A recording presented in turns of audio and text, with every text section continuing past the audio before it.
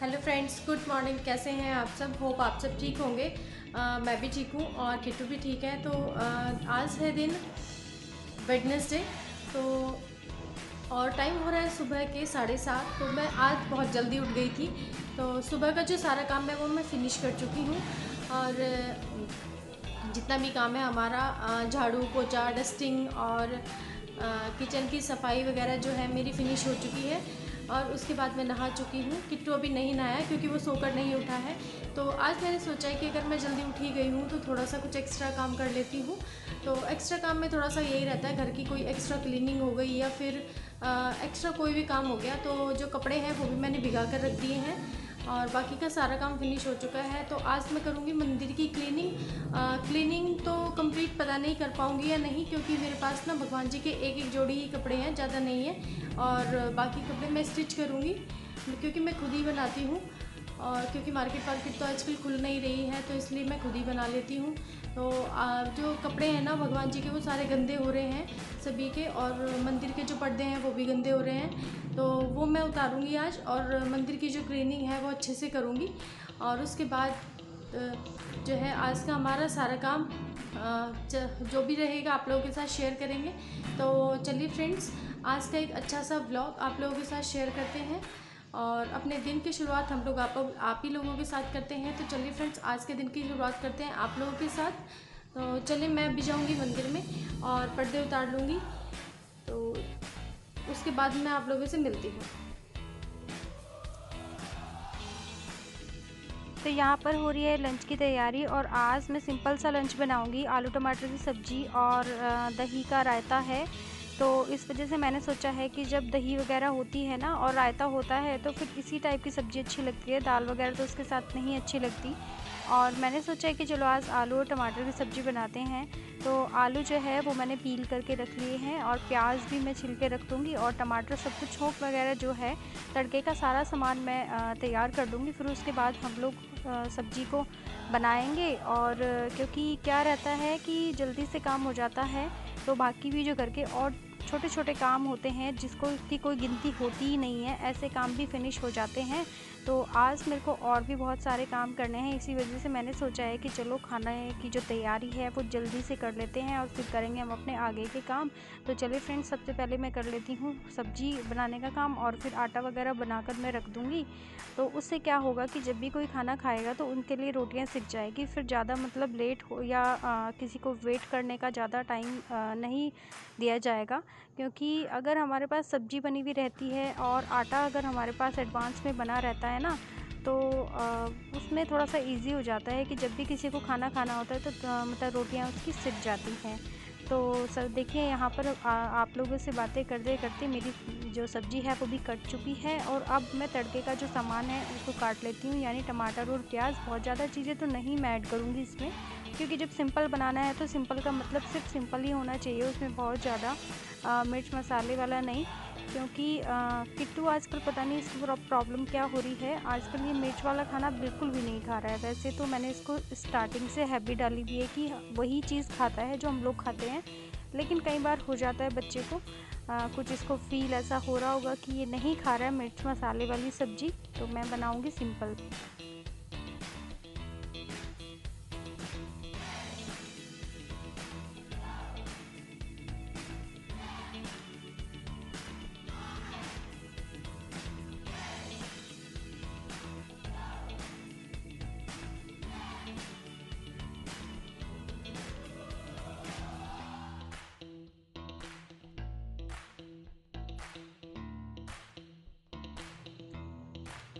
Cooker को मैंने कढ़ाई पर चढ़ा लिया है और उसको कर लिया है मैंने प्री हीट और इसमें मैं मस्टर्ड ऑयल ऐड करूँगी और मस्टर्ड ऑयल में जब एक बार आ, ये अच्छे से प्री हीट हो जाएगा तो उसके बाद मैं इसमें ऐड करूँगी क्यूमिन सीड्स। क्यूमिन सीड्स का मीनिंग है यानी जीरा वगैरह ऐड करूँगी। जीरा भुनने के बाद मैं प्याज और टमाटर इसमें ऐड कर दूँगी और अपने आलू की सब्ज़ी को बनाकर फिनिश कर लेंगे। तो बहुत ज़्यादा डीपली रेसिपी तो मैं आप लोगों के साथ नहीं शेयर करूँगी क्योंकि सबको ही पता है ये बहुत सिंपल सी सब्ज़ी होती है, इसमें रेसिपी शेयर करने वाली कोई बात है ही नहीं। और इससे पहले भी मैं कई बार अपनी वीडियो में ये चीज़ दिखा चुकी हूँ तो ऐसे ही गो थ्रू करके सिर्फ़ ऐसे ही मैं आप लोगों को मोटा मोटा सा दिखाऊँगी जिससे कि बस आपको ये पता चल जाए कि आज मैंने बनाया क्या है। तो यहाँ पर मैंने आलू को ऐड कर दिया है और अब इसमें मैं ऐड कर लूँगी पानी। अपने अकॉर्डिंग जितना भी हम लोग ग्रेवी खाते हैं उसके हिसाब से तो देखिए, हमारी सब्ज़ी जो है, वो अब लगभग बनकर हो गई है तैयार। और साथ में ही क्या हुआ था, जैसे ही सब्ज़ी बनाई, खाने के लिए भी ये लोग आ गए थे। तो इन्होंने बोला कि जब आलू और टमाटर की सब्ज़ी बनी है, रायता है तो आप लोग ना पूरी बना दीजिए। हमारे घर में ऐसे ही होता है मतलब पूरी वगैरह ऑयली खाने का काफ़ी शौक़ रखते हैं। तो मैंने सोचा कि चलो फिर इनके लिए बना देते हैं पूरियाँ। तो यहाँ पर मैंने इंडक्शन पर पूरियाँ बनानी स्टार्ट कर दी है। और बाकी सब लोग बैठकर अभी खाना खा रहे हैं, बना भी रहे हैं हम लोग और मैं इनको खिला भी रही हूँ। तो बस ऐसे ही हो जाता है हमारा काम।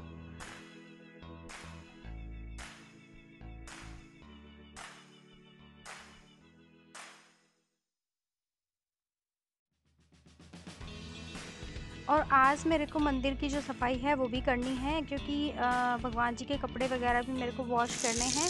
तो ये देखिए लंच वगैरह करने के बाद मैंने क्या किया है, मंदिर की जो जितने भी कपड़े थे भगवान जी के, वो सबके उतार लिए थे और पर्दे वगैरह उतार लिए थे और उनको मैंने सर्फ में पाँच मिनट के लिए भिगो कर रखा और उसके बाद में बस उनको हल्का सा मसल कर हाथ से डाल दूँगी क्योंकि वाशिंग मशीन में डालने वाली चीज़ तो नहीं है।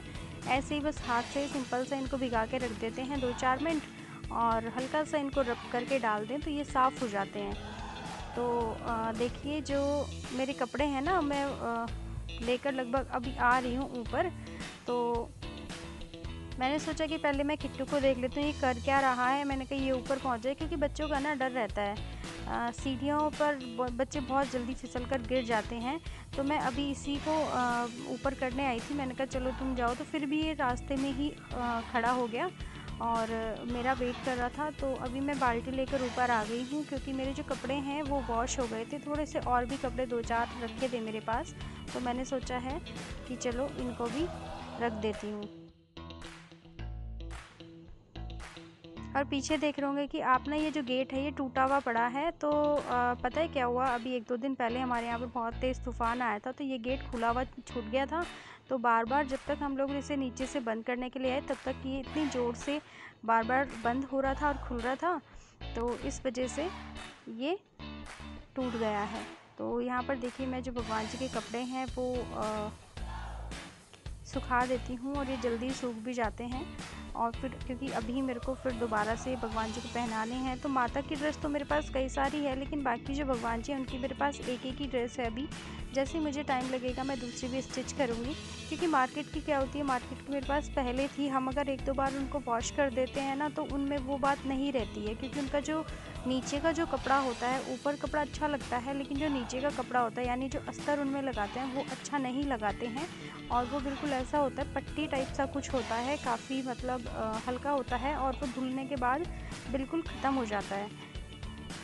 तो इस वजह से मैंने सोचा है कि मैं खुद ही बनाऊँगी थोड़ी सी मेहनत तो होती है, लेकिन कोई बात नहीं। तो यहाँ पर देखिए, जो मेरे थोड़े बहुत कपड़े हैं ना, वो भी कपड़े मैं धुल कर ले आई हूँ साथ में और इनको भी मैं डाल दूँगी। अब धूप में फिर बाकी का काम करेंगे।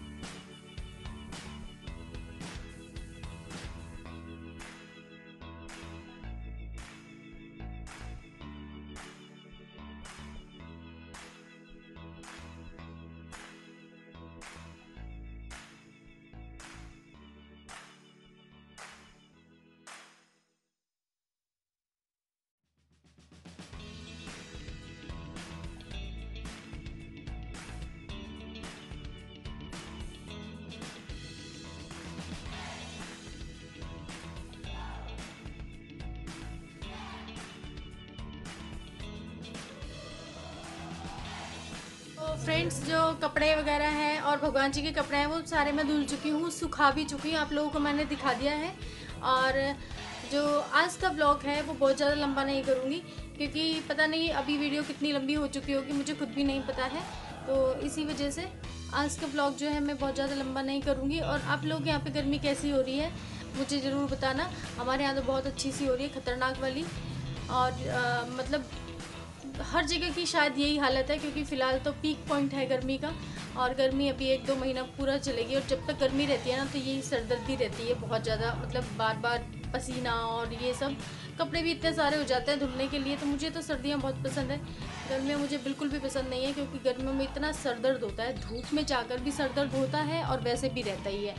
और इतना सारा काम फैला हुआ होता है, गर्मी का बार बार बच्चों को नहलाना और खुद का भी रहता है कपड़े वपड़े का तो सर्दी का क्या है? सर्दी में तो हम कैसे भी किसी भी तरीके से जैकेट वैकेट पहन लेते हैं, हीटर चला लेते हैं, काम चल जाता है, कोई प्रॉब्लम नहीं है। अब गर्मी में क्या चलाएँ? पूरे घर में एसी तो नहीं लगा सकते या फिर किचन तो अब मैं तो लेडीज़ को जाना ही जाना है, वहाँ पर भी ऐसा कुछ नहीं हो सकता है।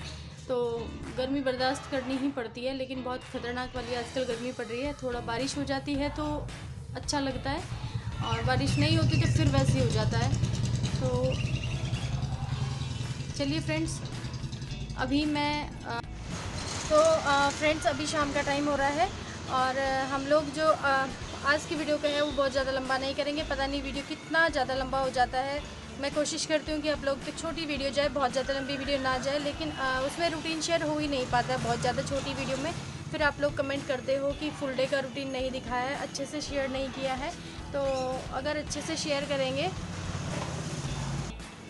तो क्या होता है कि फिर थोड़ा सा वीडियो लंबा हो ही जाता है। तो चलिए फ्रेंड्स, आज की वीडियो को मैं यहीं पर एंड करती हूँ। वीडियो अच्छा लगा हो तो वीडियो को लाइक कर देना, चैनल को सब्सक्राइब कर देना और पहले आइकन को भी प्रेस कर लेना, जिससे कि मेरे आने वाली सभी वीडियोज़ की नोटिफिकेशन सबसे पहले आपके पास पहुँचे। तो चलिए फ्रेंड्स, आज की वीडियो को करती हूँ मैं यहीं पर एंड तब तक के लिए बाय बाय टेक केयर और अपना ध्यान रखिएगा, अपने बच्चों का ध्यान रखिएगा, अपने बुज़ुर्गों का ध्यान रखिएगा, क्योंकि सेफ्टी बहुत ज़्यादा ज़रूरी है।